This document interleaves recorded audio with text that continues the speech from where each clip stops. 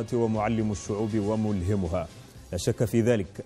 أنجز ثورتين سابقتين ضد الظلم والتسلط وحكم الفرد ويعمل الآن لإكمال ثورة سودانية ثالثة. نقلب اليوم دفاتر الثورة السودانية. أحداثها أبطالها منعطفاتها إشراقاتها وكذلك خيباتها. ننظر لكل ذلك بعيون التعلم من التجربة والاحتفاء بها وكذلك بالنقد البناء وإن لم يخلو من قسوة أهلا ومرحبا بكم مشاهدينا الكرام في هذه الحلقة الجديدة من شارع القيادة والتي اخترنا لها عنوانا ثورة ديسمبر بعيون ثورتين. نحييكم آه، وكما نحيي كل مشاهدينا الذين يتابعون على الهواء مباشرة والذين يتابعون عبر خدمة البث الحي على منصات التواصل الاجتماعي. هذه تحياتي وتحيات فريق العمل مقرونة بتحيات زميلتي عفاف سرو في لغة الإشارة.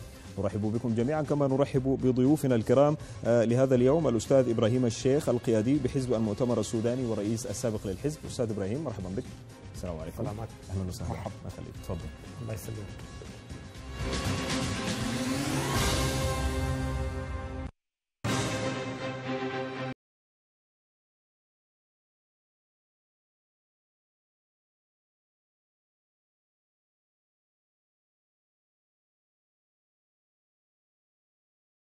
ثاني لهذه الحلقة الأستاذ الجميل الفاضل الكاتب الصحفي والمحلل السياسي. أستاذ الجميل السلام عليكم. كيف أحوالك؟ الله يخليك. شرفت. تفضل.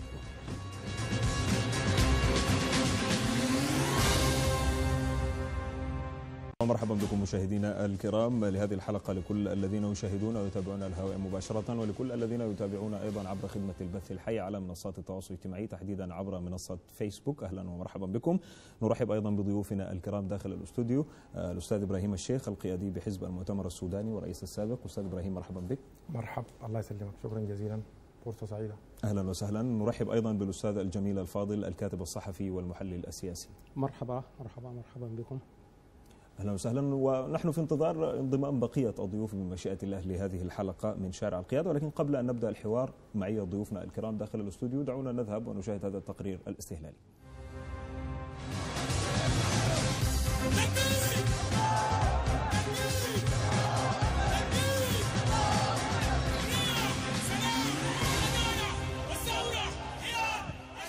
للسودانيين تاريخ ثالث في الثورة على المستبدين والطغاة. حدث ذلك في كل حقبهم التاريخية تقريبا حتى أن شاعرهم الكبير محمد المكي إبراهيم قد خرج للناس بعد ثورة أكتوبر المجيدة ينشدهم. كان أكتوبر في أمتنا منذ الأزل. ولذا لا غرو إنه ومن قبل أن يتسامع الناس مصطلح الربيع العربي بعقود بهر السودانيون في تاريخهم الحديث فقط العالم. كل العالم بثورتين قوامهما السلمية. فأنهت أولاهما حقبة الجنرال عبود في أكتوبر 1964 وأطاحت الثانية بالدكتاتور جعفر النميري في رجب أبريل 1985 لاحقا منذ ذات الجديلة انسدلت ثورة ديسمبر المجيدة التي وضعت حدا لثلاثين عاما عجاف من حكم البشير مخبرة الكافة بأن الثورة ما هي إلا سلاح مجرب وفتاك يجري في أحماد السودانيين النووية. وهل بربكم تعرفون سلاحا نوويا أشد فتكا من شعب يتنفس الثورة؟ وبلا ذرة شك تتقاطع ثورات السودان الثلاث في كثير من نقاط التلاقي حتى لتقول إنه نور يخرج من مشكاة واحدة ثم تلتقط تميزات كبيرة حتى لتظن أن كل واحدة تمتاز بالفرادة وهي نسيج وحدها لذا دعونا ننظر لثورة ديسمبر المجيدة التي نعايشها اليوم بمنظور إكتوبري وإبريلي لنعزز المكتسبات ونتجنب الإخفاقات ونستخلص العبر والدروس. ثم لا ننسى هتاف ثوار شارع القيادة الشهير لسنا ربيعا. لا نريد سوى الحديقة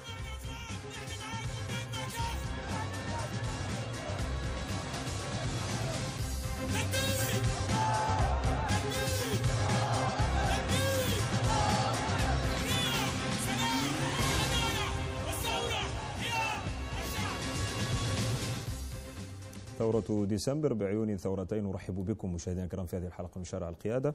نرحب بضيوفنا الكرام. أبدأ معك آه، أستاذ إبراهيم الشيخ القيادي بحزب المؤتمر السوداني ورئيس السابق. أستاذ إبراهيم هل من قاسم مشترك يربط الثورات الثلاث التي مارسها السودانيين ثورة أكتوبر 64 أبريل 85 ومؤخرا ثورة ديسمبر 2018 ما هو القاسم المشترك؟ نفتكر القاسم المشترك بين الثلاثة ثورات كلها التطلع للحرية والسلام. ديل القضيتين المحوريات. ومناهضة الأنظمة العسكرية ده برضو قاسم آخر يعني. الثلاثة ثورات كلها قامت ضد أنظمة عسكرية كانت مستبدة جدا سلبت الناس الحقوق وأشعلت الحروب. يعني ما استطاعت أن تضع حد للحرب ولا تحقق السلام. دي مسألة مهمة خالص في في الثلاثة ثم الثلاث ثورات كلها برضه نزعت نحو السلمية. عبر أداة السلمية والشارع والهتاف والإضراب والاعتصام والتظاهر استطاعت أن تسقط هذه الأنظمة العسكرية الثلاث. بصدور عارية بالهتاف بالإصرار بالعزيمة بتاعت الشباب في كل في كل الثورات. والعامل اللي برضه المهم خالص في المسألة دي كلها برضه يعني في عامل مهم جدا هو برضه اللعب الدور الأساسي في مناهضة العسكر وحقق النصر النهائي نعم. للثورة اللي هو تجمعات المهنيين والتجمعات النقابية. نعم. في أكتوبر 64 كانت آه، جبهة ال- الهيئات. في آه، أبريل 85 كان التجمع النقابي والآن برضو آه، في آه، ديسمبر آه، 2019 برضو. كان لتجمع المهنيين برضو يعني الإسهام الأكبر في الإطاحة بالنظام البشير وكده. بالتالي دي كلها قواسم مشتركة. يعني أنت بتشوف إنه يعني وكأنه تاريخ السودان يعني يستعيد نفسه ولا يتكرر على ذات النهج وعلى ذات النمط كده أنظمة له دائرة ما عرفت بالدائرة الشريرة دي أنظمة عسكرية تفسد وتستبد وتطغى تسلب الناس حرياتها ينهض الناس في مصارعات الزمن. آه، مع العلم يعني يعني برضه في ملاحظة مهمة جدا. السنين بتاعت الحكم لأي مجموعة عسكرية من المجموعات اللي تعاقبت على حكم السودان دي قاعد يتضاعف. هنلقى عبود حكم آه، 8 سنة جاني ميري حكم 16 سنة جا البشير حكم 30 سنة. انت بتحس انه في كل مرة المدة بتاعت الحكم العسكري قاعدة تتطاول. لماذا؟ قاعدة تتطاول. ما ال ما ال ال أنا افتكر إنه العامل الأساسي برضه كل الأنظمة العسكرية دي اللي تعاقبت على حكم السودان يعني عملت ليلا ونهارا على إضعاف ال- الأحزاب وتمزيقها وتشتيتها وحرمتها من الاتصال بالجماهير بتاع بتاعتها. بالتالي برضه تبعت الصفوف ما بين ال- الأحزاب والجماهير. وده السبب الأساسي. ما أنت دون الاتصال الجماهيري ده يت- يتكفل لك أنت ما بتقدر براك يعني تصارع. في النهاية برضه نعم. أي حزب هو مجموعة من ال- الناس المحدودين. لكن القلبه الكبيره هم المجموعات ال- اللي قاعدة برضها في النهاية تلتزم بال ما تدعو له ال- الأحزاب أو تجمعات المهنيين المختلفة وكده. جميل. أنتقل إليك آه، أستاذ الجميل الفاضل الكاتب الصحفي والمحلل السياسي ونرحب بك أيضا في هذه الحلقة من شارع القيادة. ذات السؤال يعني ما هي عوامل الالتقاء المباشر بين ثورات السودانيين الثلاث؟ ال- في الواقع أن الإنسان السوداني بطبعه يعني في تكوينه في جذوره آه، الحديث عن أكتوبر في أمتنا منذ الأزل ال- ال- أيضا الأنشودة التي تقول آه، يعني تتحدث عن عن المورثات والهندسة الوراثية للإنسان السوداني. الحالة الثورية حالة مسكون بها الإنسان السوداني بطبعه في تكوينه. آه، تتجلى من حقبة إلى أخرى ومن فترة إلى أخرى ويصبح ال- ال- العوامل الموضوعية هي التي آه، تفجر الثورات في القالب. الصحيح أن الحكم آه، ظل تظل الهبات والثورات والانتفاضات هي ضد حكومات عسكرية. في السمت العسكري البادي. لكن القوى السياسية أيضا لها تورط كبير جدا آه، والساسة لهم تورط في صناعة واختراع هذه الأنظمة. وعندما آه، تذهب هذه الأنظمة إلى غير السبيل الذي يبتقونه آه، نعم. من أن تكون الجيوش أو القادة العسكريين أدوات آه، لحسم الصراعات السياسية وبالاستعانة والتوسل إلى ذلك عبر المؤسسة العسكرية. ويسقط ويسقط في يد ال- الساسة آه، يذهب إلى اتجاه آخر في محاولة لإيقاظ هذه الشعلة الجينية الموجودة في الإنسان السوداني وبطبيعة الحال تتفجر الهبات والثورات وتأتي مثل هذه الأحوال. في تقديري أن هناك روابط وعلاقات قوية جدا آه، من حيث المظهر ما بين ثورة أكتوبر وثورة آه، أبريل وثورة ديسمبر الآن. وما تفضل به الاستاذ إبراهيم الشيخ أيضا في هذا الصدد العوامل المشتركة والقواسم المشتركة المتعلقة بالسلمية كسلاح رئيس للقضاء على الأنظمة العسكرية. السلمية والمقاومة السلمية أصلا هي تضع القوى المادية المسلحة خارج معادلة التغيير. نعم. وبالتالي أنت يعني غالب الأنظمة العسكرية تهتم بتجيش الجيوش وتجهيز الأسلحة وبناء الترسانات الحربية والعسكرية وتمارس القمع والمنع وهكذا بوسائل شتى. عندما ينطلق الشعب إلى التعبير عن نفسه من خلال وسائل سلمية كالتظاهر آه، كالإضراب السياسي كالعصيان المدني هذه الوسائل المتدرجة والمتصاعدة آه، تفضي إلى أن تكون القوى المادية التي استحصدها وبناها النظام العسكري أصلا خارج آه، القوس خارج المعادلة. نعم. ليس من الطبيعي أن تواجه العزل والمدنيين والذين يواجهونك بصدور عارية وبالهتاف فقط في ليست ليست لهم أدوات عنف. آه، أن تواجههم بالقوى المادية. هذه المعادلة تحيد وجود القوى المادية وهو السلاح الناجع. كافة المحاولات التي جرت لمقاومة الأنظمة العسكرية في السودان. يعني عندما جاءت آه، الجبهة الوطنية بقوات مدججة إلى داخل السودان العملية لم تحقق النجاح المطلوب بالنسبة في مواجهة نظام نميري في سبعينيات القرن الماضي. وهكذا أيضا آه، نشأت في مقاومة الإنقاذ آه، حركات للكفاح المسلح من جهات شتى في القرب وفي أقصى الشرق وفي النيل الأزرق وفي جبال النوبة وفي جنوب السودان قبل الانفصال. لكن أيضا آلة الآلة العسكرية لم تفلح آه، في إسقاط النظم والحكومات العسكرية. تصبح الكلمة السحرية هي السلمية نعم. التي التقطها الشعب السوداني وكانت هي مطلع الهتافات. آه، سلمية سلمية ضد الحرامية. هذا الهتاف آه، مثل ال يعني ال ال السر في في نجاح الثورة. وأعتقد أن الثوار السودانيون لم يفلتوا هذا السلاح القوي والناجع والمجرب على مدى ثلاثة تجارب سودانية. ففي تصوري أن أن الثورات في السودان ذات جذر واحد. وأنا أعتقد أن الإنسان السوداني خصائص الشخصية السودانية أيضا القصة لها عمق طويل جدا. ممكن الناس يرجعوا لي سبعة ألف سنة. السودانيون بطبعهم في تكوينهم آه، لا يرتضوا القهر آه، لا يرتضون الإذعان لأي آه، جبار أو طاغية أو هكذا وأيضا حتى دخول الإسلام في صدر الإسلام نعم. إلى السودان السودانيين عرفوا بمصطلح رماة الحدق في يوم من الأيام السودان لم يفتح بالسيف نعم. يعني حتى صحابة رسول الله صلى الله عليه وسلم لم آه، يفلحوا في أن آه، يفتحوا هذه الديار كما فتحوا ديارا أخرى آه، بالقوة المادية نعم. أيضا أنا أعتقد إنه يعني أبناء السودان ظلت هذه الخصائص موجودة في التركيبة الجينية للإنسان السوداني. يتوارثها جيل بعد جيل.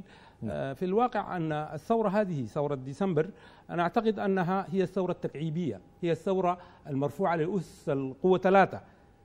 يعني هذه الثورة استحصدت تجارب كثيرة جدا وأعتقد أن التمسك الآن والتمترس آه، في ساحة الاعتصام وميدان الاعتصام إلى هذا اليوم آه، نحن تقريبا نقارب نصف عام منذ أن بدأت هذه الثورة هذا الملمح ضروري جدا لأنه استصحب في تقديري كل التجارب السابقة نعم. وأسباب الخيبات التي أدت إلى أن الثورات نعم. آه، يعني على صعيد العاطفة يلتقي الناس لكن لا يوجد آه، فكر يمكن أن يقود حالة التحول الكامل الثورة لا تحدث ما لم آه، يتحقق على الأرض انقلاب جذري في حياة الناس. نعم. تفكيك للحالة التي أنتجت ما اسمه الأستاذ إبراهيم الشيخ بالحلقة الجهنمية. المصطلح ده معروف أنه نحن عندنا دورات في التاريخ آه، آه، تقوم هبة شعبية تطيح بنظام عسكري تأتي ديمقراطية. هذه الديمقراطية توأد قبل أن تكمل دورتها الانتخابية.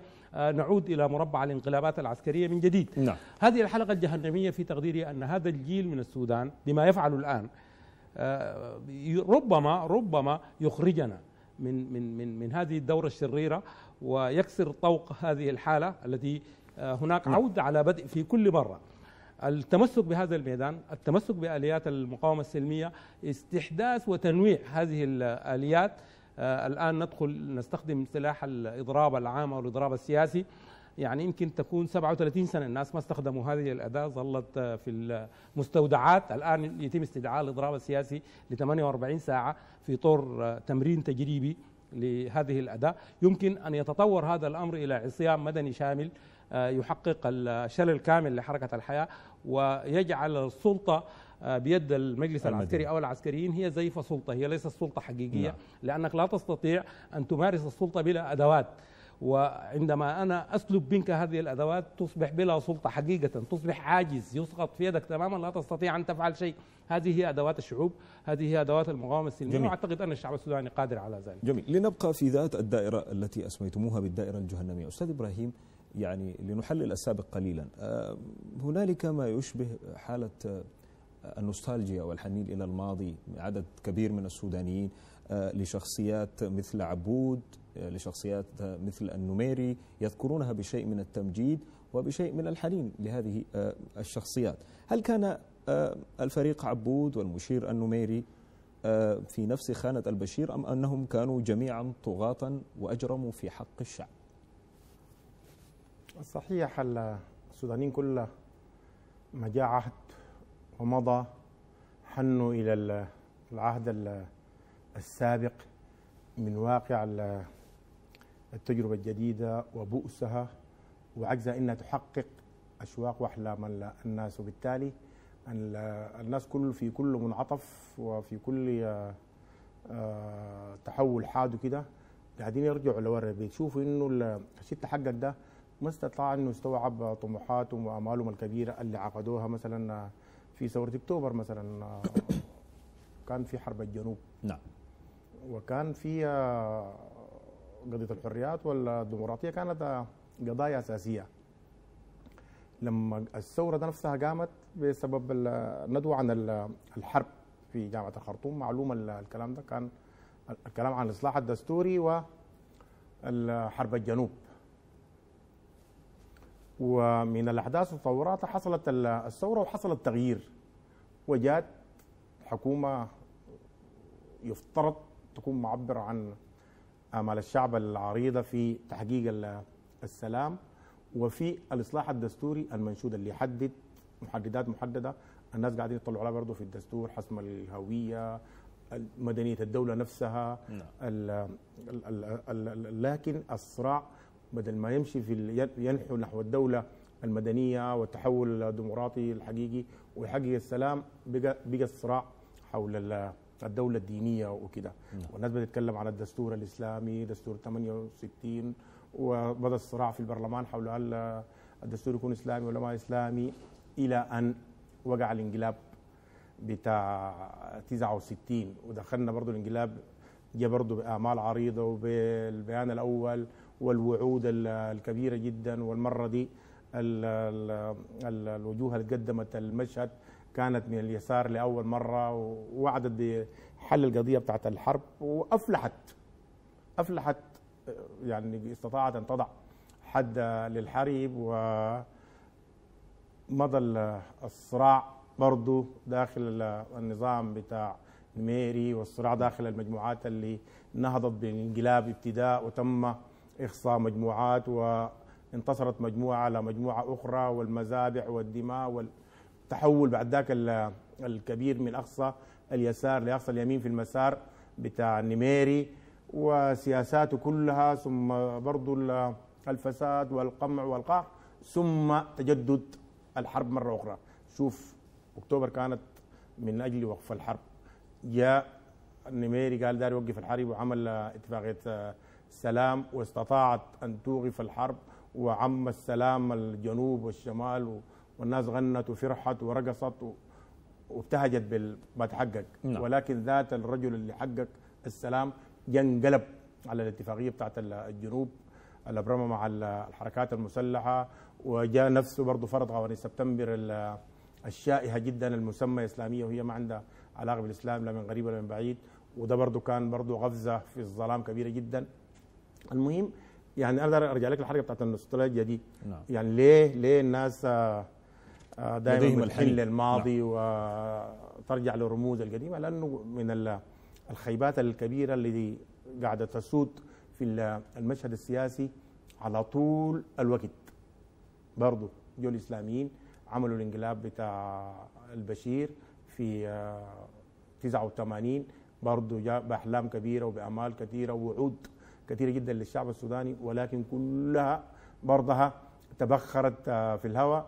عشان كده برضو الناس تاني برضها رجعت تحن للبشير وتحل لعبود وتحل للمعجوب وتحل للأسري وتحل للرموزة نعم. القديمة كلها وكأنه الناس ما عندها استثمار في المستقبل وما عندها قدرة إنها يعني تمشي للمستقبل بخطى ثابتة وراسخة وبرؤية ومشروع وطني واضح وكده يعني حجم التخبط القاعد يتسيد ال- المشهد السياسي كله والأداء العام للدولة السودانية هو اللي قاعد يرجع الناس دائما يخليها تتحسر على ما مضى. وأنا أفتكر إنه ده ما غدر أهل السودان يعني ده ما غدر الناس إنك والله يا أخي كل مرة إحنا نقعد نبكي على ما مضى. أنا أفتكر إنه الآن هذه الثورة بقوه الدفع الشبابي الكبير بإنها تحولت إلى ثقافة دخلت كل البيوت السودانية حجم يعني القاعدة المشاركة في الثورة ذاتها. المرة دي مختلفة نعم. من كل ال- المشاركات اللي سابقة. في ال- الثورة في آه، أكتوبر 64 تقدر تقول كانت ثورة بتاع الطلاب دخل معاهم النقابات في وقت آه، محدد ثم جاءت الأحزاب لاحقا ثم حصلت الثورة والتغيير وغادت جبهة الهيئات نفسها البلد لفترة محدودة ثم جاءت الأحزاب برضو وغادت بعد الانتخابات مباشرة وحتى في أثناء الفترة الأولى ذات الانتقالية حصل برضو نزاع وصراع مع جبهة الهيئات جاءت الأحزاب خشت ثم الانتخابات والمشكلة الأساسية الأحزاب. اي هي ما قاعدة خلينا نثبت حاجة أساسية. ما قاعدة تلقى فرصتها كاملة في ال- الحكم. دائما في في عسكر مغامرين سواء كان بإعاز من أحزاب عقائدية ولا غير عقائدية قاعدين يعتلوا ال- سلطه السلطة وكده. وينقلبوا على النظام الديمقراطي. والأحزاب نفسها في مماحكاتها وصراعاتها الداخلية والصراعات الجانبية وائتلافاتها اللي ما راضية تماما. برضها ما قاعدة تقدم مشروع وطني. لا قادرة تخدم الاقتصاد لا قادرة تحقق ال- السلام لا قادرة تحقق الاستقرار لا قادرة تكفل المواطن ال- الحياة الكريمة. السودان كله بيقوم بينحصر في الخرطوم. الأطراف بتكون مهمشة بتشتعل الحرب بتهدد ال- ال- النظام الديمقراطي بيفتح الباب واسع للمغامرين لأنه بتحصل الاشكالات اقتصادية كبيرة جدا الأسعار بترتفع المواطن بيعاني بالتالي ال- المغامرين العسكر بيلقوها سانحه طيبة جدا إنه يجوا خاشين من ال- الشباك يقول لك والله نحن دايرين نحقق الأحزاب فشلت العجز اللغة نعم. القعد الكرر كل العسكر اللي تعاقبوا على حكم السودان ثم تنتهي بحصاد صفر يعني أو خراب شامل يعني برك برضك شايف ال- ال- التجربة الأخيرة كانت آه، اشكالاتها أعمق وأكبر لأن الدولة تحولت إلى دولة عقائدية إلى دولة بتاع التمكين. ثورة إلى- ديسمبر. نعم. آه، لا الحكم بتاع البشير نعم، نفسه. نعم. ال- ال- ال- الطريقة بتاعت الحكم ال- ال- ال- ال- الطريقة اللي دارت بها الإسلاميين الدولة حولها ل لضيعة لضيعة تقدر تقول ضيعة في يد مجموعة معينة بسبب سياسة التمكين، الهيمنة الشاملة، ال- احتكار الثروة والسلطة، إخصاء الآخرين. وتهميشهم، الحروبات اللي اشتعلت في الأطراف ال- المختلفة، انقسام ال- الجنوب بعد الاتفاقية بتاعت السلام الشامل اللي ناس عقدت عليها آمال عريضة جدا ثم برضها تبخرت في الهواء وانتهت بانفصال جنوب السودان والوطن تمزق وتضاءلت المساحة بتاعته وذهبت غالب الموارد بتاعته والناس عانت بسبب فقدان الموارد وفقدان الجنوب والفساد والاستبداد والأزمة الاقتصادية نعم. كل العوامل دي يعني تضافرت عشان ما تدفع الناس دفع للثورة ويبقى خيار الناس هو الثورة والتغيير الشامل بحثا عن الحرية والسلام والعدالة زي ما جسدوا الشعار بتاع حرية سلام وعداله والثورة خيار الشعب جميل بعد هذا الفاصل مشاهدينا الكرام نناقش معي ضيوفنا الكرام داخل الاستوديو هل كان التوق للحرية هو محرك أساسي لثورة السودانيين آه، أو لثورات السودانيين آه، الثلاث. قبل الفاصل نستمع إلى جزء من آه، الأغاني والأناشيد التي كان يرددها السودانيون ولا زالوا في إشعال حماس الملايين للدفع بقوى الثورة للأمام. الأخضر يا أكتوبر الأرض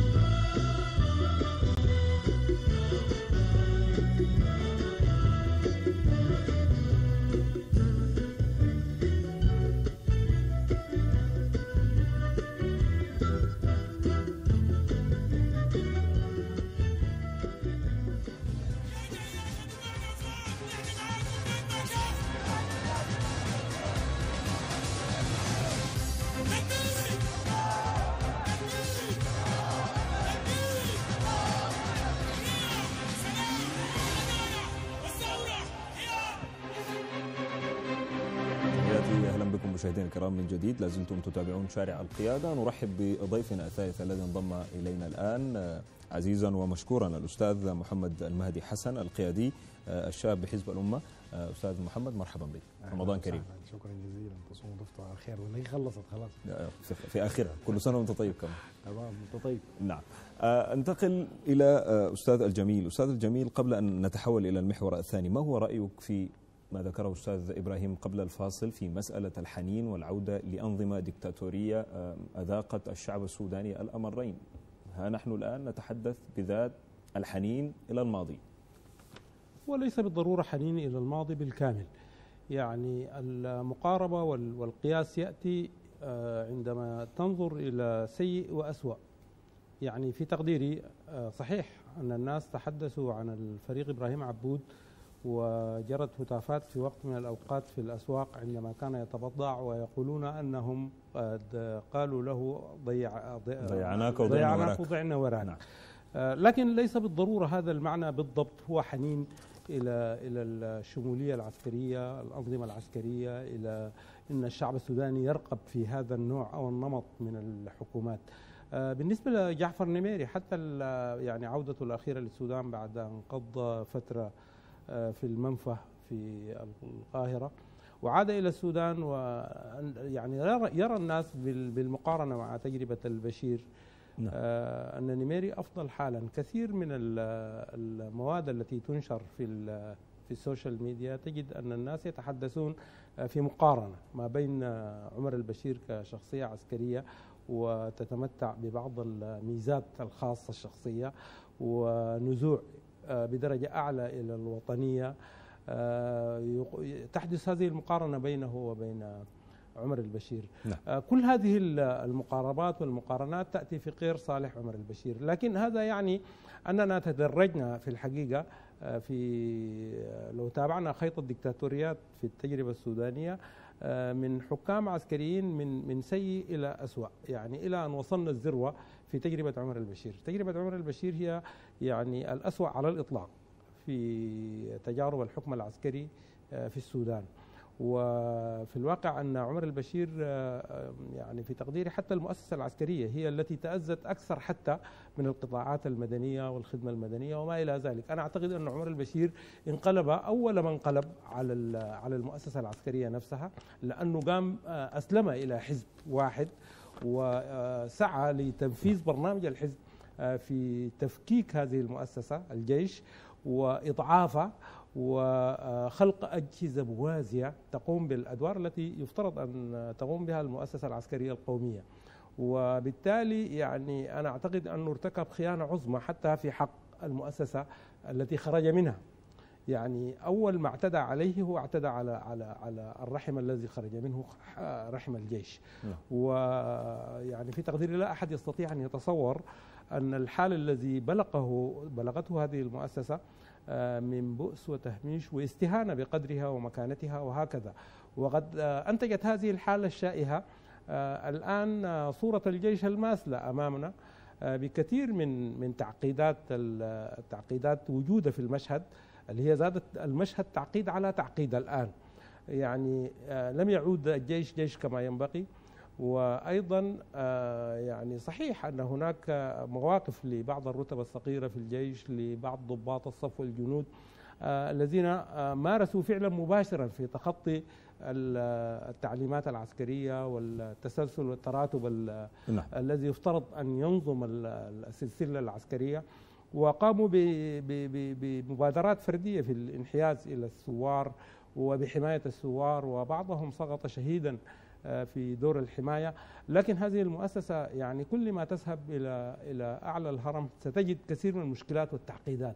وأنا أعتقد أن النظام الأخوان المسلمين في السودان صنع هذا الأمر عن عمد. يعني أعتقد أن هذا التشويه ممنهج وليس تشويه في في المؤسسة العسكرية فقط هو تشويه للخدمة المدنية هو تشويه للنظام التعليمي هو تشويه للاقتصاد السوداني هو تشويه لكل الأوجه أوجه الحياة. أنا أعتقد إنه مشروع مشروع الإسلاميين في السودان اولا هو مشروع تدميري في المقام الأول وليس مشروع بناء.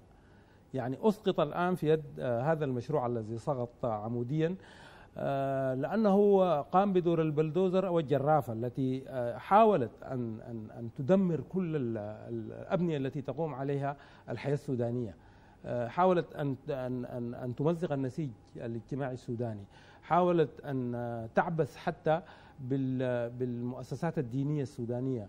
وبالطرق الصوفية وبالمكونات التقليدية للمجتمع السوداني وأن تنشئ ثقافة بديلة. نعم. وفشلت في كل هذا لأنها جاءت في مقدمة الأمر بدعوى أنها جاءت لإعادة صياغة الإنسان السوداني. يعني أشعر النازي نفسه استعاره حسن الترابي لكي يعيد صياغة الإنسان السوداني وفق مشروع الحضارة وفق الم- المشروع الحضاري. وفي مجتمع مسلم كالمجتمع السوداني يقولون أنهم جاءوا لأسلمة المجتمع السوداني. هذه حاجة يعني التجربة دي تجربه تجربة حقيقة لا تستطيع الكلمات أن تصفها بها. والمؤسسة العسكرية واحدة من المؤسسات التي ابتليت بهذه الحالة. أنا أعتقد انه نحن يجب أن لا نحمل كثيرا على العسكريين. العسكريين الذين دخلوا في هذا العهد وتربوا في المؤسسة في هذا العهد تحت هذا المناخ وخرجوا بهذه الكيفية.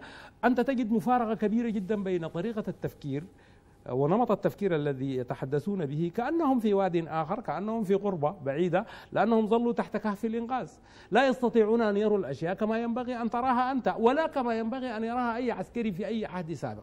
يعني حتى التحيزات العسكرية للمدنيين في أوقات من الأوق- في وقت من الأوقات تمت بشكل مختلف وبنوازع مختلفة. نعم. الآن هو ابتهال لفرصة بتاعت ثورة آه، محاولة للقفز على السلطة آه، محاولة ل ل- ل يعني ترسم سبيل من سبق. يقولون في مؤتمراتهم الصحفية نحن أبناء سوار الذهب. هل تجربة سوار الذهب نفسها كانت تجربة جيدة؟ هل سوار الذهب أدى دورا جيدا في في حماية ثورة أبريل آه لأجندة ثورة أبريل لخدمة هذه الأجندة؟ هل آه ما يعني نتائج تجربة المجلس العسكري لسوار الذهب التي يتباهى بها العسكريون القائمون الآن على أمر المجلس العسكري هل هي التجربة المثالية حقا؟ نعم. هناك أسئلة كثيرة فيما يتعلق جميل. بال- بالدور العسكري في هذا الأمر. أنا أعتقد أنه يعني هم بحاجة الآن إلى إلى أن يعيدوا النظر في كثير من القناعات التي يرون أن المجتمع السوداني يتقبلها على علاتها هكذا وهم يتباهون بها ولا يدرون إنه هذه التجارب لو درسوها دراسة عميقة لأدركوا أنهم يباعدون بينهم وبين الناس أكثر من أنها هي تقرب الناس إليهم. جميل. أنتقل الآن إلى أستاذ محمد المهدي. أستاذ محمد المهدي أه، بما استمعته واريد رايك رأيك بالتأكيد فيما استمعته من الأستاذ الجميل الفاضل لكن أيضا أه، ما هو أه، الجديد المختلف في ثورة ديسمبر أه، 2018 والمختلف عن ثورة أبريل 85 وثورة أكتوبر 64 كثير جدا. مختلف بين الثورة الحالية والثورتين السابقتين كثير جدا. في اختلاف من حيث المطالب وفي اختلاف من حيث المشاركين وفي اختلاف من حيث طبيعة النظام ال- اللي تم إسقاطه. أول حاجة من حيث المشاركين أول حاجة في مشاركة ضخمة وعظيمة وكبيرة جدا للنساء. في مشاركة ضخمة وكبيرة وعظيمة للمغتربين. في مشاركة لفئات من خارج الوسط. الثورات الثانية دي قامت في وسط السودان. الثورة دي قامت من الأطراف من الشمال ومن الشمال القريب يعني من الجنوب الغربي وقامت من الغرب من دارفور. ففي اختلاف نفسه ذاته في بداية الثورة. الثورة ذاتها زمان كان بتبدأ من الخرطوم وكده هسه هي بدأت من برا الخرطوم. نعم. يعني وفي اختلاف برضو أنا بتكلم من حيث المشاركين. في اختلاف من حيث الحركات الحاملة السلاح مثلا في أبريل الحركة الحركة الحاملة السلاح ما شاركت. لكن هسه في في في ديسمبر دي الحركات الحاملة السلاح عضويتها شاركت وكمان هي جبلت بالحل السلمي. يعني هي جبلت مباشرة بالحل السلمي ودخلت مع الناس في الوسائل السلمية تحت المقاومة. هي طبعا حركات حملت السلاح آه، دفاعا عن حقها في الحياة. ما أكثر من كده يعني. آه، برضو في اختلاف في المشاركة من حيث النازحين والمهاجرين واللاجئين. ديل كلهم مشاركين وبفعالية بيعتبروا إنه الثورة دي حقتهم بيعتبروا إنه الثورة دي ملك ليهم. يعني في من حيث المشاركة أجسام جديدة. تعرف زمان؟ يعني زمن الجماعة ديل. آه، كانت الأجسام إما سياسية أو نقابية. نعم. هسه في اقسام جديدة اسمها لجان الأحياء. في اقسام جديدة اسمها لجان المقاومة يعني.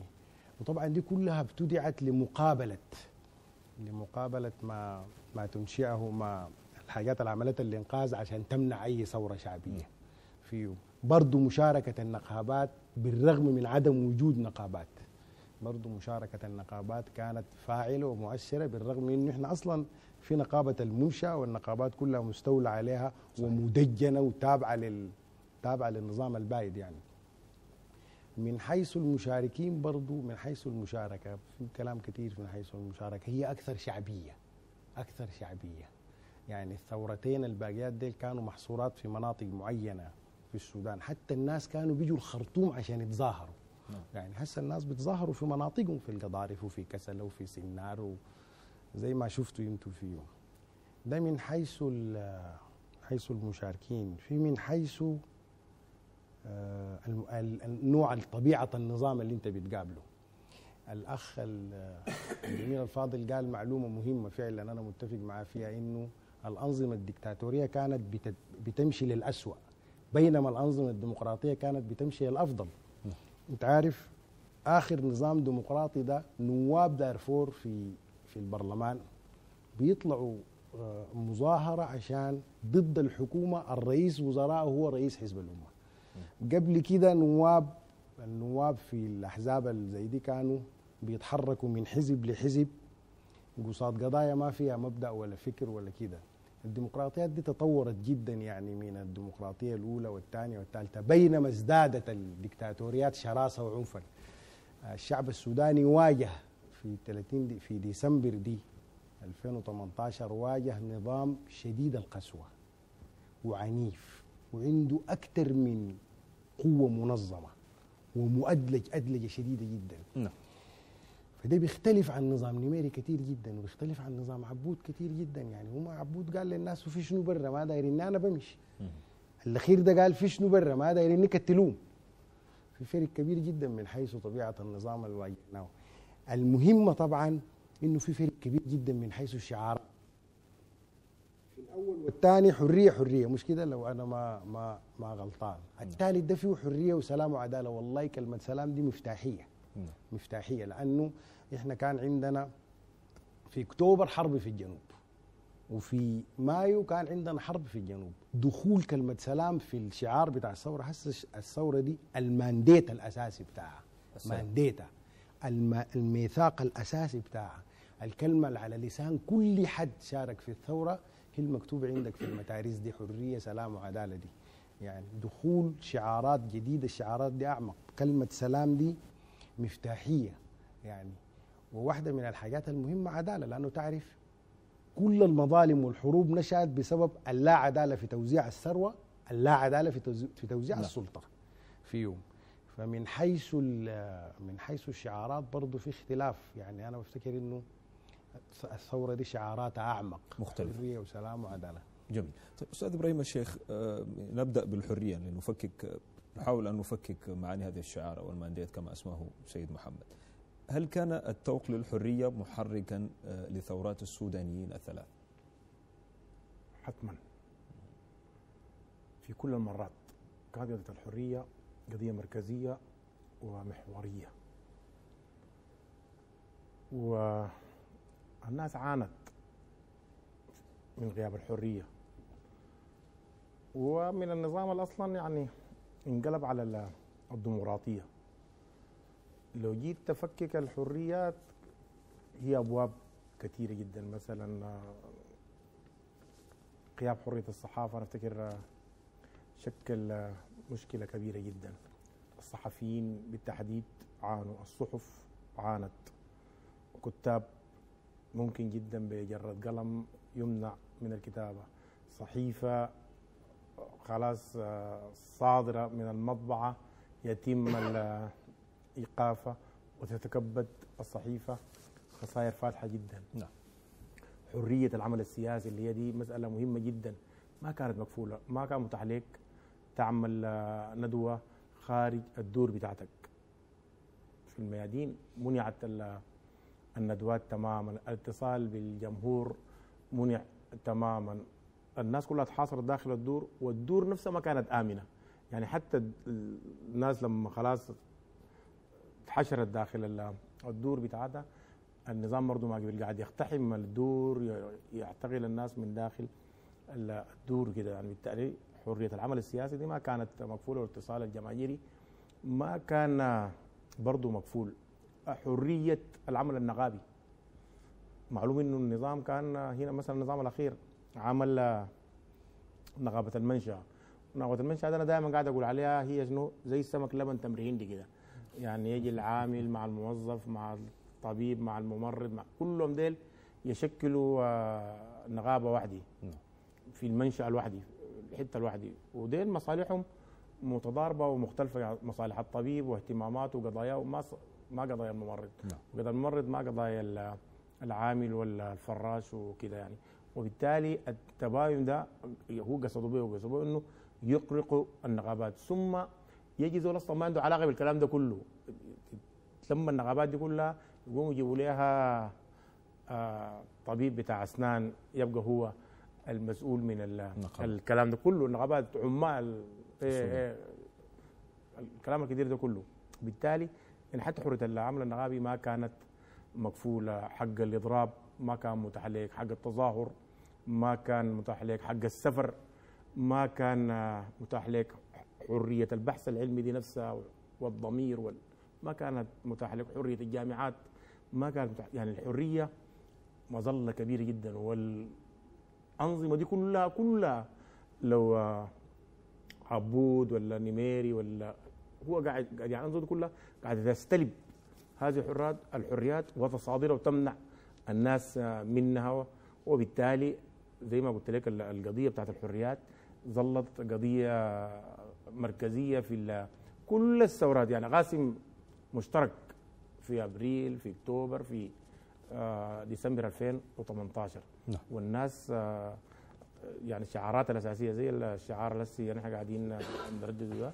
حريه سلام وعداله شايف الحرية والحاجة والحرية تأسي لما تجي تشوف قضية الفساد حتلقى إنه عشان الحرية ما في حرية الصحافة ما في لأن الحريات دي زي النور الكاشف. مكبوتة نعم. حتلقى فيه فساد. القبن التاريخي في المناطق دي كلها في مناطق الهامش اللي شالت السلاح بتلقى برضو آه، قيام الحرية كان عامل أساسي جدا في حمل السلاح لأنه الناس زي ما لقت منابر حرة ما لقت جهة تستمع لها ما كفلوا لها الحرية عشان تشتكي مظالمها وغبنها التاريخي وتقول هي عايزة إيه؟ في النهاية هي لأنه ما في جهة بتسمع لك وأنت في قمع وفي استبداد شديد جدا بيمنع عنك حقوقك وما ما بيمنحك أي حاجة. الناس شالت البندقية عشان تقول نحن هنا عشان صوتها يرتفع عالي لمطالبه وعشان يكون في صدى لمطالبه وكده. بالتالي أنا قاعد أقول إنه الشعار ذاته علاقاته يعني العلاقة فيه علاقة جدلية. بنلقى أي واحدة قاعدة تأثر في الثانية. هو الحرية زي ما قلت لك عندها علاقة بالفساد عندها علاقة بالاستبداد. كده ده يعني المسائل كلها مترابطة ومتداخلة مع بعض وأي واحدة جاره الثانية معاه كده. بالتالي عشان كده القضية بتاعت الحريات يعني مسألة مهمة خالص خالص. جميل. قبل أن أخرج إلى الفاصل الأستاذ الجميل الفاضل قضية الحريات هي كلمة السر إن اتفقت مع ضيوفي الكرام فيما ذهبوا إليه في ثورات السودانيين آه، الثلاث. ولكن هنالك من يسأل لماذا تكون الحرية هي كلمة السر؟ لماذا لم ينجز السودانيين هذه القضية في الثورات السابقة؟ بل ازداد الأمر سوء في حكومة الإنقاذ وشاهدنا آه، أسوأ أنواع القمع على الحريات أو على كل شيء آه، يتحرك في السودان. الحرية طبعا هي يعني قيمة إنسانية أصلا في المقام الأول. ويعني لا يمكن أن تنهض آه، أي مجموعة من المجاميع البشرية آه، دون أن يتوفر مناخ للحرية. الحرية أبواب شتى ولها تجليات مختلفة.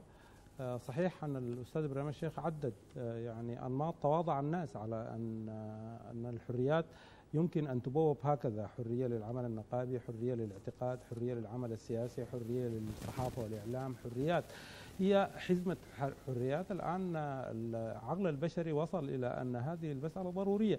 لكن يعني أنا في تقديري أنه نحن كمسلمين أولى بهذا الأمر من غيرنا يعني. يعني يعني حتى مسألة الأمن ترتبط ارتباط آه، جذري بقضية الحرية.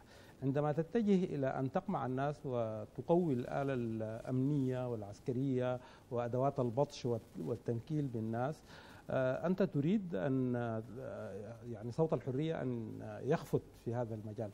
علما بأنه يعني الذين آمنوا ولم يلبسوا إيمانهم بظلم أولئك لهم الأمن وأولئك هم مهتدون. النص القرآني ما ما بالنسبة لي واضح.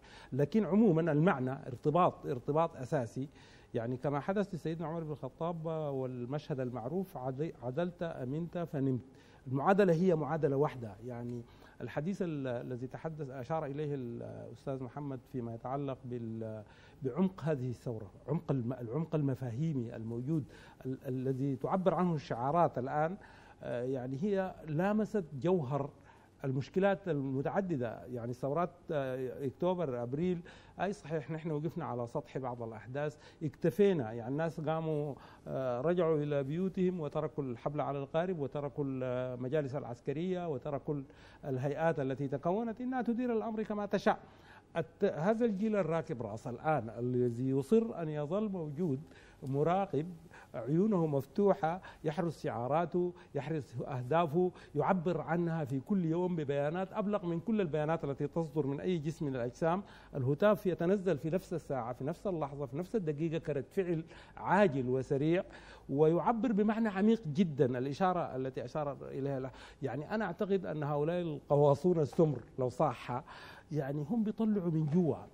يعني المقولة بتاع تجيب من جوا هم بيجيبوا من جوا حقيقة ما قاعدين نعم. يدونا من السطح يعني أنا مندهش جدا لما أشوف يعني شباب في هذا العمر ومدى عمق الفكرة اللي هم بيعبروا عنها في ببساطة في بتعابير بسيطة يعني لو أخذتها من من حيث التراكيب واللغة والمفردات ولغه أحيانا عامية لغه محكية لغه يتحدث بها الناس حتى في قاع المدينة تخرج إلى أن تصبح معبرة تحمل محمولات عميقة جدا. كرندوك مثلا. وتعبر نعم. بقوة عن الفكرة ولا تستطيع أن تجد تعبير أقوى من ذلك. يعني أنا بفتكر إنه فعلا نحن التجربة دي تجربة جديرة بالبحث والدراسة والاهتمام مش على مستوى السودان. يعني التجربة السودانية التجربة 19 ديسمبر أنا بفتكر إنها تجربة تستحق الوقوف عليها. أنا ما أنا بقول الثورة دي حتى يمكن تقدم لنا نموذج يتجاوز الثورة الفرنسية ليس ادعاء يعني. وأعتقد إنها لأنها واقع واجهت واقع آه، شرس جدا يعني ليس ثمة ما يماثله وأنت تواجه نظام مؤدلج تواجه نظام عقائدي تواجه نظام سعى لأن يحشر الناس في قوالب وضعها هو. وقاوم الناس بصور يعني لا تستطيع فيها انتهاء لكرامة الإنسان، الحرية قيمتها تعلو من من من من, من هذا الوجه يعني. يعني آه، متى استعبدتم الناس وقد ولدتهم أمهاتهم أحرارا، هؤلاء الناس فعلوا نقيض الدين، إذا كانت الدين الدين هو آه، يعني الرسول صلى الله عليه وسلم قال بعثت لأتمم مكارم الأخلاق، يبقى القيم والأخلاق هي أصل الدين، إذا أنت بتعمل في شيء نقيض لهذه المنظومة القيمية والأخلاقية اللي هي بتمثل جوهر الدين. حقيقة أنا بفتكر إنه إذا قلت أنا عمر البشير أكبر جناية ارتكبها ارتكبها في حق الجيش اللي ولده أنا بفتكر إنه الحركة الإسلامية السودانية ارتكبت أكبر جناية في حق الإسلام نفسه كدين. المشكلة دي كبيرة مشكلة مشربكة مشكلة معقدة. أنا بعتقد إنه الجيل ده حاليا جيل مواجه بتركة مثقلة جدا. ويعني لكن الأمل كبير جدا. بالإصرار والعزيمة والإرادة القوية اللي بيتمتعوا بها الجيل السوداني الشاب أنا بفتكر إنه ممكن نطلع نطلع من من الحفرة اللي قعدنا فيها اللي يتكلم عنها الأستاذ محمد الأستاذ إبراهيم الشيخ. الحلقة الجهنمية تكسر هذه المرة. أنا في أنا أمل كبير جدا في أنه آه، لن تعود الدورات الخبيثة للحكم. الذي فيه عودة على بدء كل ما نذهب في اتجاه ديمقراطية وبسط حريات وهكذا نعود القهقرة إلى نظام عسكري وتوسل بالآلة العسكرية ل يعني خدمة أجندة وأهداف ومشروعات سياسية زائفة ونعود آه، تارة أخرى إلى الثورات يعني. أنا أعتقد أنه آه، هذا الأمر سيضع خط فاصل بين مرحلة في تاريخ السودان 63 آه، سنة منذ الاستغلال. الجماعة دي شالوا نصها 30 سنة. ذاقوا الشعب السوداني الأمرين حقا يعني. وأدونا نموذج انت لا يخطر على بال أحد. نعم. آه، بالتالي مقاومته الآن أيضا لا تخطر على بال أحد. يعني المقاومة المدهشه التي نحن بنشوفها للتجربة دي. التجربة دي الناس ما مكتفين بأنه آه، بدل لي عسكري بعسكري أو بدل لي حاكم بحاكم أو بدل لي عسكري بمدني. حتى حتى المدني اللي بيجي لو ما ده لو ما لو ما أدرك عمق المطلوبات أنا بفتكر إنه برضه هو حيكون بعيد من روح الثورة. روح الثورة دي دايرة تغيير حاسم يضع حد نهائي لكافة الأسباب التي تعيد إنتاج المشاكل العانى منها الشعب السوداني في ما بين أكتوبر وأبريل ويجب أن- يعني يفهم هذا الأمر بهذه الكيفية. نعم جميل. حتى يتسلسل النقاش في هذا المحور. تحديدا بعد الفاصل نناقش معي ضيوفنا الكرام ما هو المستفاد من دروس الثورات السابقة حتى لا نعود مرة أخرى ونبكي على اللبن المسكوب. قبل الفاصل أيضا آه، نذهب ونتابع آه، عدد من الإفادات من موظفين وأيضا من مدير فرع الخرطوم لبنك آه، السودان وبالطبع بنك السودان آه، كان قد ضرب مثالا آه، مثالا كبيرا ومشرفا في إنجاح الإضراب الذي أعلن عنه في اليومين الماضيين. نتابع.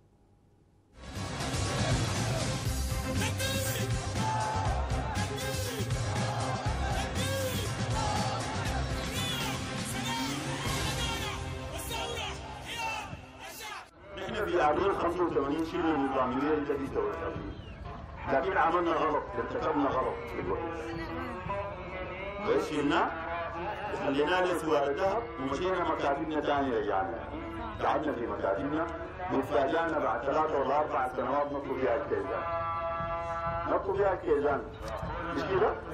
نحن- نميل شلنا في 85 ابريل في 89 في يونيو نطلب فيها الكيزان. مهمتكم أنتم ما بقول لكم نحن بعيدين منكم. لا نحن حنكون قدامكم حنكون عن يمينكم وحنكون عن شمالكم. أنتوا أنتوا دفعتوا ثمن غالي. أنتوا دفعتوا ثمن غالي. ونحن هو عايشين في الزمن الضايع. بعد عمرنا تبدا تجيكم له مهما كان. مهما كان. كويس؟ الدائرة يقولوا إنكم ثورتكم دي لازم تحرسوها. ها؟ لازم تحرسوها. ما تكتفوا بانه بكره يدونا مجلس سياده مدني ونفكفك خيامنا دي ونمشي نقعد في بيوتنا. لا لا لا لا لا لا. حتكونوا حتكونوا ارتكبتوا ارتكبتوا نفس الخطأ اللي ارتكبناه نحن في 85 في 85 لكن ليس من حقك يا إدارة عليا لأي بنك أو مؤسسة أو وزارة بإنك تنقل موظف من مكانه نقل تعسفي أو تمارسي معه أي نوع من أنواع التهديد والوعي. والكلام ده إحنا ما بنقبله كله كله ما بنقبله أي موظف أو موظفة أي موظف أو موظفة يتعرض للتهديد أو يتعرض للوعيد في وزارة أو في مؤسسة أو في بنك من البنوك حيلقى نفس حيلقى بالمناسبه حيجي البنك ده ثاني يوم أو المؤسسه دي أو الوزاره دي ويلقانا صابينها قدامها لغايه ما الموظف ياخذ حقه. أنا أمثل مدير إدارة الخزينة لبنك السودان في الحكومة. الخزينة المركزية هي إدارة منفصلة لحالة تتبع لإدارة العمليات المصرفية. نحن أمس شفنا الكلاشات وكل السلاح ما باقي إلا الدوشة تخش جوا البنك وهي كانت تحاول البنك. موجهة بإرهاب. إرهاب. نحن والله ما خايفين. أصلا ما خايفين بعد عمر فاق 60 عاما إحنا ما خايفين ماتوا 14 سنة ولا 12 سنة شوفها في هذه الثورة نموت نحن نموت علينا ضغط كبير جدا جدا نحن كفرع مسؤول نصرف المرتبات بالرغم من أنه يعني إحنا صرفنا يوم الأحد والاثنين بالحد الاقصى يعني ممكن لحد الساعة 5 يومين ورا بعض. ده كله قلنا عشان يعني إحنا ما نتكسر في الاضراب لأننا بنك السودان خلاص. أصبح يعني يتحدث عننا بأننا كيزان بأننا جهاز أمن بأننا بأننا بأننا. فقلنا عشان ما نتكسر في الاضراب ونخسر الناس. والله لو هذا عمل أمس فرع الخرطوم ده لو كان اشتغل اضراب ممكن ما يكون فشل استمر هذا الأمر رغم رجاءات ادارتنا العليا ورغم ورغم ورغم رفضنا حتى الاداره الماليه بوزاره الدفاع. جاتنا وخطتها تحت ضغط وقلنا لهم إحنا ما بننمر الكلام ولا بنقول لك النظام ولا بنقول إحنا مضربين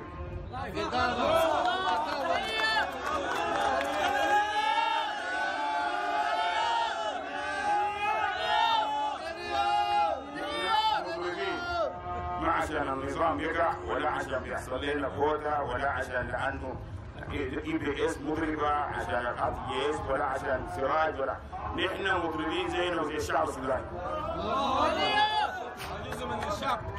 وحركنا جزء من الشعب جزء أصيل من الشعب. قالوا خلاص قولوا كده ونحن فهمنا الموضوع. قلت لهم أفهموا الموضوع. نحن مضربين ما عندنا أي سبب ثاني. طلعوا ومشوا كانت الرجعات لكن للأسف أنا تحدثت مع القائد بتاع الحنين بتاع الشؤون المالية. قلت له يا لو سمحت عند الضباط في الصالة رجاء اصرفهم لنا.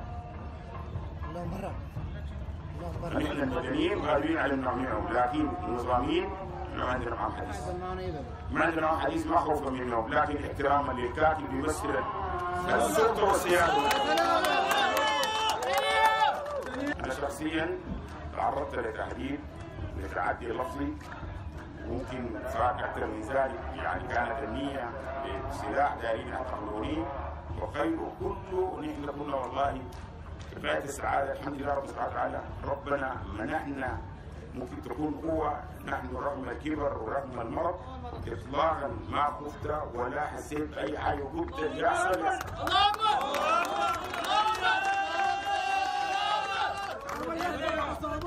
يعني إحنا تعليماتك ما بتديني لها انت أنا مؤسسة لي نظم ولي لوائح ولي إدارة. نلتزم بالتعليمات وفوق المؤسسة وفوق ادارتي العليا في الشعب الفرض عليه انه أنا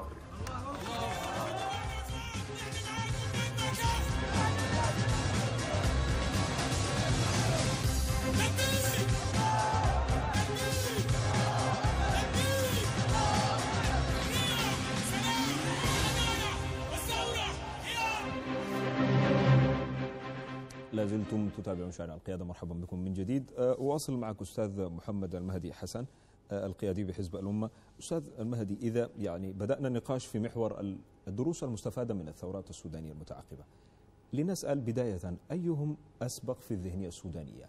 أه، الحرية أم الأمن والخبز؟ يعني إذا وضعنا هذين الشيئين في خانة واحدة. هل هذا الجدال قادر أيضا على إضاعة ثورة ديسمبر؟ هذا الجدال شهدناه في ثورات سابقة وهذا الجدال شهدته كل العواصم العربية وربما الدول العربية التي شهدت ربيعا عربيا. من وضع هذه الموازنة؟ الحرية أم الأمن والخبز؟ الحقيقة أنا عايز أعلق على الفيديو اللي اتكلم فيه الأخوان من بنك السودان. بنك السودان. مربوط بآخر سؤال للأخوين عن موضوع الحرية. حرية الإضراب. حريه ان تضرب عن العمل. يعني أنا امبارح شفت اعتداءات على ناس مارسوا حق من حقوقنا السلميه من حقوقهم الأساسية. الاضراب عن العمل ده حق. يعني آه الحصل المطالبات بتاعه الإخوة الهسع ديل ل- لبعض قادة الحركة الحركات زي الأستاذ ياسر عرمان اللي كان يوصل الخرطوم قبل كم يوم وقالوا له لا لازم تغادر. نعم. ده حق من حقوقه. يعني شفت موضوع الحرية ده؟ حيطه زي حيطتكم اللي أنتوا راسمينها دي حيجي أي زول يدوق فيها ويرجع. مم. يعني إذا كان البشير بكل أجهزته دي يدق فيها ورجع. يعني أنا ما عارف اللي بيفكر تاني يمشي بنفس الدرب ده منه يعني لكن طبعا يعني الطغاة مكتوبوا وغواميسهم واحدة. يعني لو فوتنا الموضوع بتاع الاعتداء على المضربين ده الثورة دي ممكن تتراجع. لو فوتنا موضوع الاعتداء على المضربين ده غلط كبير. ما لازم الذي يمكن؟ الناس والذي يجب أن؟ لازم يتم اتخاذ إجراءات قانونية ضد الذين اعتدوا على المضربين امبا- امبارح. دي أصلا لا يمكن نتكلم فيها وما المفروض نت- نتفاهم فيها وما المفروض نتراجع عنها المفروض نختلف فيها ولا نتناقش فيها. المفروض يكون إجراء تقوم به المؤسسات العدلية والقانونية إذا كانت حكومية أو غير حكومية طوالي ضد الناس اللي اعتدوا على المضربين اللي امبارح لأنه ده اعتداء على الحريات ده اعتداء على حق أساسي في الحريات. وعودة إلى إلى سؤالك ما هو هل يمكن أن ندخل في النقاش بتاع خبز حرية خبز أمن وحرية اللي هو بقت خبز أمن حرية. نعم. ما حصل الثورات في السودان دخلت في الموضوع ده عموما يعني. وإذا كانت هذه من أكبر الثورات لا من السودانية. طور النقاش الذي تثيره الأنظمة الاستبدادية والديكتاتورية التي تخير الناس هذا ما أقصده. ما هو النظام بتاع الإنقاذ ده النظام بتاع الإنقاذ ده قال للناس كده. قال للناس والله أنا صحيح ما في حريات لكن أنا عندي لكم الخبز وعندي لكم الأمن. جات لحظة من اللحظات غياب الحرية تسبب في غياب الخبز. وغياب الحرية تسبب في غياب الأمن. الفصل بين الثلاثة ديل ما صحيح أصلا. الفصل بين إنه والله أنت ممكن تحقق في دول كثيرة جدا حولنا هسه في دول كثيرة. ما فيها حريات فيها مشكلة بتاعت خبز وفيها مشكلة بتاعت أمن. سبب ذلك غياب الحرية السبب الاساسي غياب الحرية. في ناس بيفتكروا إنه لا الحرية هي اللي ممكن تجيب غياب ال- الأمن. الحرية هي اللي ممكن تجيب استقرار الأمن والحرية هي اللي ممكن تجيب استقرار الخبز. ده ما صحيح. الحرية استبداد والاستبداد بيقلل الخيارات بتاعت الحياة في الدنيا بقلل خياراتك بتاعت الحياة فالفصل بين الحرية والأمن وال- والخبز ده ما صحيح يعني تعرف ده زي شنو زي الناس اللي كانوا بيقولوا لنا لو قمتوا بثورة هيحصل لكم زي اللي حصل للغزافي وهيحصل لكم زي اللي حصل في سوريا وهيحصل لكم زي اللي حصل في هذه الأسطوانة لا زال هنالك أشخاص طبعاً أقول ينادون لك. بها حتى أستاذ جميل. أقول لك الحصل في ليبيا وفي سوريا لأنه الناس اتاخروا في مقاومة الشمولية مش مش لأنه الناس شالوا الشموليات. كل ما تتأخر في في في في في إزالة الأنظمة الشمولية كل ما حيكون الثمن أكبر شوية. هسه شوف الوحلة اللي إحنا وحلانين فيها دي معناه انه إحنا تأخرنا 30 سنة. فإنه شوف هسه عندنا وحلة كده يوم يومين إن شاء الله نمرق منها. لكن عندنا وحلة لأنه تأخرنا. مش لأنه إحنا شلنا الشمولية. حيطلعوا ناس الحرية فاتحة وحيطلعوا ناس كتار يقولوا حليل فلان. يعني كان قاصدين جد جد ولا كان مدفوع له عشان يقولوا كده. لكن لا يمكن أن تفصل بين الحرية وبين الخبز وبين الأمن. والنقاش ده صعب إنه يطلع في السودان لأنه الثورات دي عموما ما دخلنا في النقاشات دي نحن. وبعدين هسه في الثورة بتاعت ديسمبر الأخيرة دي توفر فجأة كده توفر الخبز والوقود. فجأة كده توفر الخبز والوقود لكن الثورة تواصلت. حتى وصلت إلى محطتها التي تريدها. جميل. طيب أستاذ إبراهيم الشيخ أعود إليك بسؤال آخر. يعني هل آه، تشعر بحالة آه، رعب لدى ثوار ديسمبر 2018 مما وصلت إليه ثورتي أكتوبر وأبريل؟ يدفعهم هذا الشعور بالرعب لعدم آه، لعدم يعني التفاوض أو النقاش حول أي طريق قد يؤدي إلى سينا- سيناريوهات سابقة. هذا الشيء يرفع سقف التفاوض؟ حتى لا نعود إلى نقطة الصفر. هذا السقف المرتفع ربما مرفوض من طرف آخر. حاجة لو فهمت ال- السؤال بتاعك كويس. ال- الآن ارتفاع سقف المطالب لو قلنا السقف مرتفع كده جاي من وين؟ ما جاي من أزمة الثقة اللي قائمة ما بين قوى الحرية والتغيير والمجلس العسكري. في البداية لو أنت برضك متابع بشكل دقيق تلقى التفاوض كان سلس وحقق أهداف سريعة جدا. يعني المطالب بتاعت الحرية والتغيير المجلس العسكري يعني تناغم معاه وتجاوب معها ايجابا. تم الاعتراف بقوى الحريه والتغيير آه، ك آه، جسم شرعي معبر عن ال- الثورة. الاعتراف ده مهم جدا. تم منحه كامل آه، تشكيل مجلس الوزراء ومنحه 67% من المجلس التشريعي. لما جينا للمجلس السيادة حصل النزاع. في الفترة بتاعت النزاع دي وتعليق ال- التفاوض جرت مياه كثير تحت الجسر. رشحت سلوكيات كثيرة جدا ضارة بالثورة وفيها تحيزات واضحة من المجلس العسكري تجاه سياسات ال- النظام القديم زي ال- عودة النقابات. النقابات نعم. مثلا. زي تجميع الأحزاب الموالية للنظام أحزاب الموالاة وأحزاب الحوار الوطني اللي احتشدت في القاعة بتاعت الصداقة مرتين. السماح للثورة المضادة إنها تحتشد في شارع القصر وترفع ال- الرايات الإسلامية وتتحدث عن الشريعة وعن الدين وكده. مع العلم الصراع أصلا في يوم من الأيام ما كان صراع ديني. يعني ال- ال- ال- التصريحات برضو الرشحت هنا وهنا من آه، قيادات في ال- المجلس العسكري وما كانت مطمنة. ال- ايحاء وكأنك أنت ما راضي عن ما تم التوصل له. الكلام ده كله كان لازم يكون عنده برضه يعني آه، رد فعل يساويه. رد الفعل اللي بيساويه إنك أنت عايز تأمن القرار بتاعك آه، اللي يضمن لك إنك أنت الحكومة دي ما يكون في فيتو من المجلس العسكري ولا في فيتو من القوانين اللي ممكن يصدرها المجلس التشريعي. وقوانين كثير جدا نحن مطلعين نعدلها ونغيرها.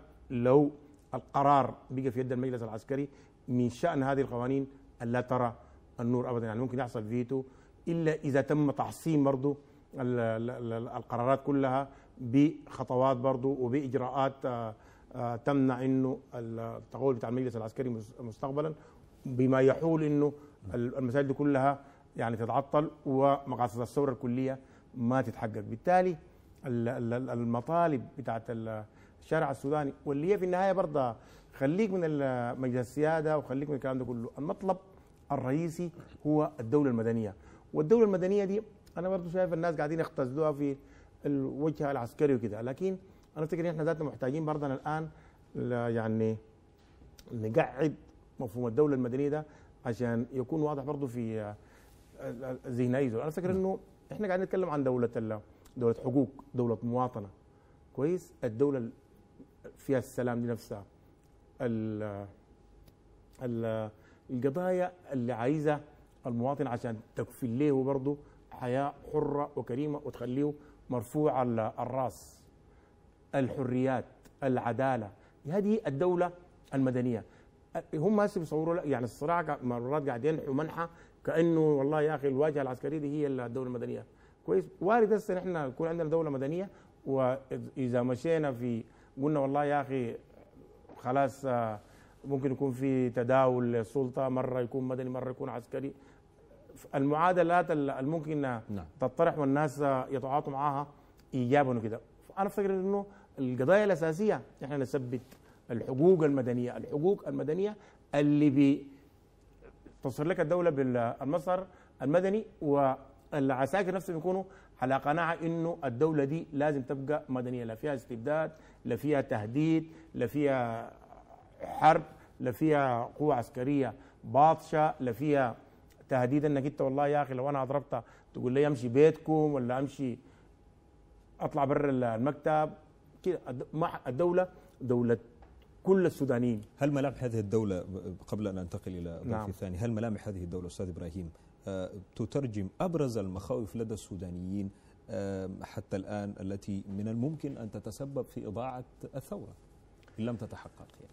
أنا أفتكر إنه ال- العزيمة والإصرار والتصميم الكبير الموجود الآن في الشارع السوداني وعند الشعب السوداني إن كان في شارع القيادة أو في الخارج ما ما وارد إنه يعني تحصل انتكاسة أو تحصل ردة أو حتى النظام العسكري يعني يقوم يتراجع عن المكاسب اللي حققته والحرية والتغيير من خلال ال- التفاوض معه. يعني ما وارد ما في مخاوف. ال- التأمين ده كله جاي من عزيمة الشعب السوداني من إصراره. من حجم الاحتشاد الضخم جدا ال- ال- الداعم للثوره وشفتها شفتها في ال- الإضراب بتاع الثلاثاء والاربعاء اللي هو بينتهي الليلة آه، الساعة 12 بالليل أو انتهى قبل شوية. نعم. شفت حجم المشاركة الشعبية والإصرار. يعني شوف هسه انت قدمت هنا التقرير بتاع بنك ال- السودان. نعم. الكمية السودانية جو ضامن حتى مع بنك السودان ما كمية بسيطة. شركات ومؤسسات ما كان في البال ولا في الخاطر إنها تبقى ضمن ال- الحراك ده الآن انتظمت في هذا الحراك بما يعني إنه كل ال... أنا أفتكر إنه حتى بعض سدنه النظام القديم الآن أدركوا إنه الخيار بتاع الحرية نعم. والدولة المدنية ده هو الخيار الأفضل بالتالي ما في جهة الآن عندها استعداد تراهن على عسكر ولا نظام قديم ولا مجموعة إسلاميين دايرين يزغللوا العيون ببعض شعارات إسلامية ثبت فشلوا وثبت إنه هم نفسهم ما كانوا جادين فيها طوال ال 30 سنة. بالتالي أنا أفتكر الآن ما في أصلا يعني أقوى من شعار الدولة المدنية ونزوع كل أهل السودان نحو الهدف ده. لو أنت هسه مشيت ده ال- الشعار الموجود في الشارع حتى حرية سلام وعدالة اللي كان في يوم من الأيام الثورة خير الشعب. الآن الدولة المدنية برضه مدنية خيار خيار الشعب. الشعب. أيوه مدنية مدنية خيار الشعب. ده الغنى وده الهتاف ودي رغبة أهل السودان الجارفة اللي ما في جهة الآن قادرة تقيف في قدامها هذا أو الطوفان ما في خيار. ما في أي خيار ولا بديل نعم. ولا مساومة نفتكر إنه ولا مهادنة في مدنية الدولة بمفهوم الدولة المدنية الكامل. دولة الحقوق ودولة المواطنة. ده الشيء عايزينه دولة السلام ودولة العدالة. جميل جدا. أستاذ الجميل آه، في عجالة نحن نمضي خلاص يعني إلى ختام هذه الحلقة.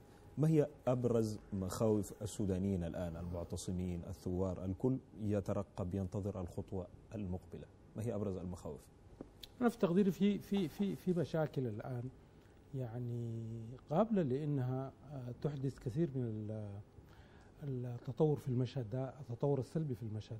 يعني أنا من الملاحظات الأساسية ال- ألاحظها انه المجلس العسكري ده يعني لا يمتلك آه، رؤية لكيفية الخروج من المأزق الذي هو فيه الآن. وواضح انه المجلس العسكري ليس على قلب رجل واحد وهناك حالة فرز مستمرة مع مع الحراك والمتغيرات الجارية في المحيط حول الأحداث الجارية الآن.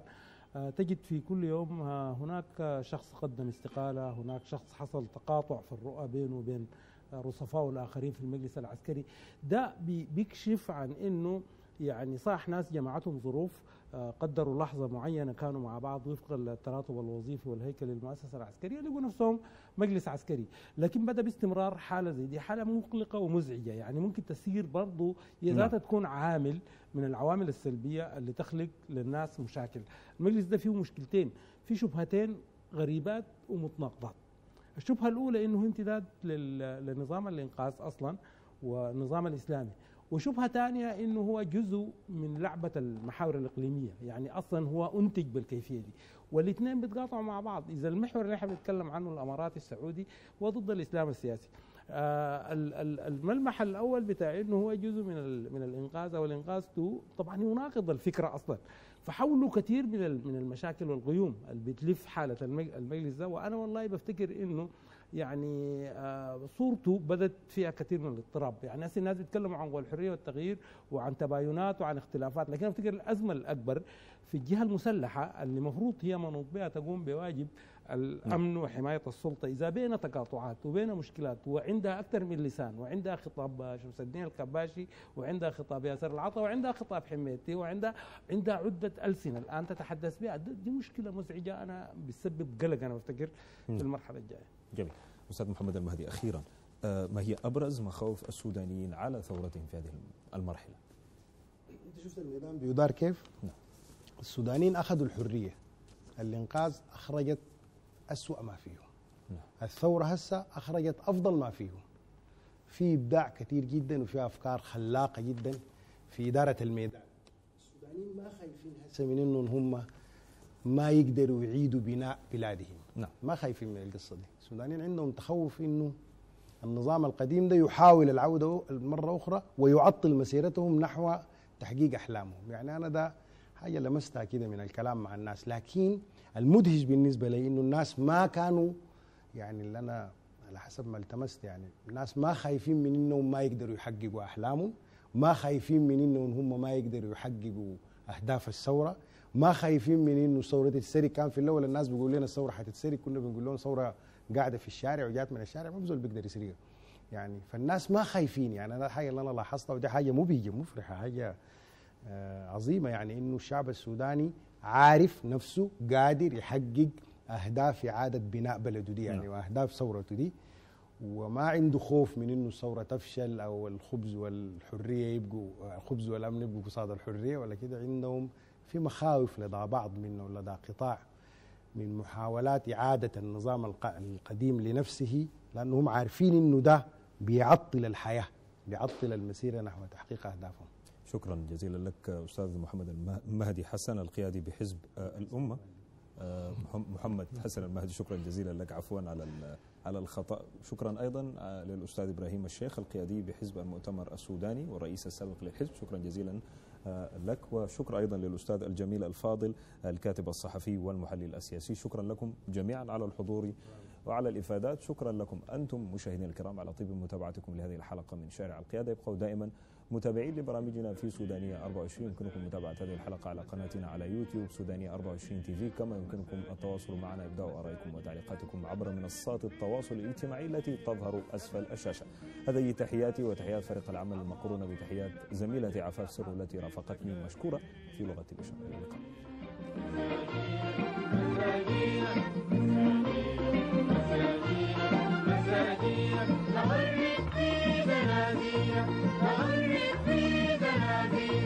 عصافيرا مجرحة لسكاكينك مساجينك مساجينك مساجينك نغرد في زنازينك نغرد في زنازينك عصافيرا مجرحة بسكاكينك مساجينك مساجينك مساجينك.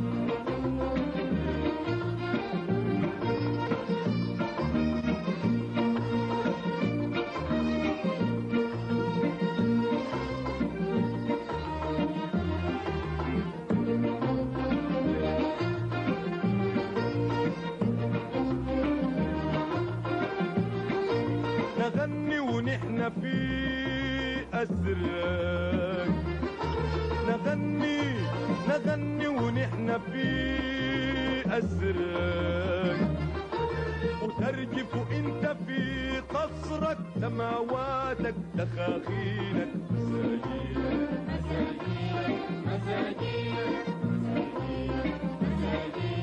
مساجينك نغرد في